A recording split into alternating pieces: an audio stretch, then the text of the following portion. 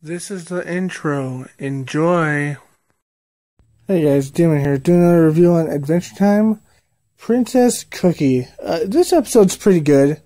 It's where a cookie takes hostages at the cookie, the Candy Kingdom, and he's basically telling the princess to give him his, give her give him her crown because he wants to become a princess.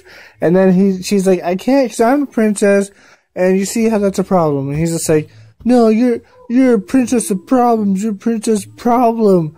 Um, it's pretty funny. And by the end, Jake joins with him because he realizes that he was dealt a bad hand, which is kind of true, but kind of not true. Because what happened was Princess Bubblegum laughed at him when he said he wanted to be a princess. Uh, and it was just a weird kid's dream. It was like, it was, it was pretty funny. like, it's just like, uh, really? Really?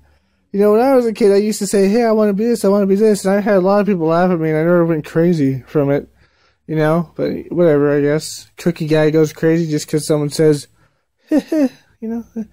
I guess they don't say it, just laugh at him. uh, but yeah, whatever. at the end, he tries to commit suicide.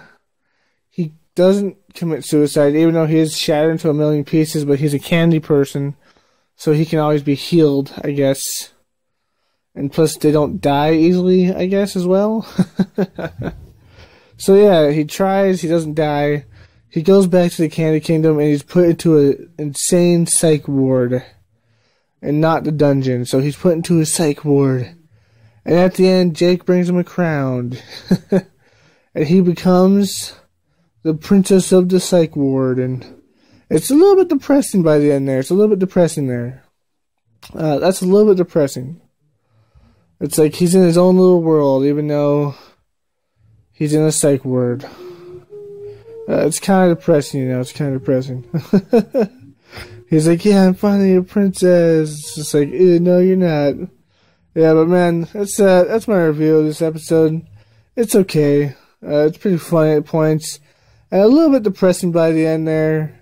But yeah, it's okay. Uh, anyways, that's my review. Hope you liked it. If you did, like, comment, share, and share. As always, my friends, stay sane. Peace. Hey guys, Demon here. Click here to subscribe on mobile or anything else you have. It should work. Or click here to watch my last video. It should also work on mobile or wherever you have. Alright, remember, subscribe, stay sane. Peace.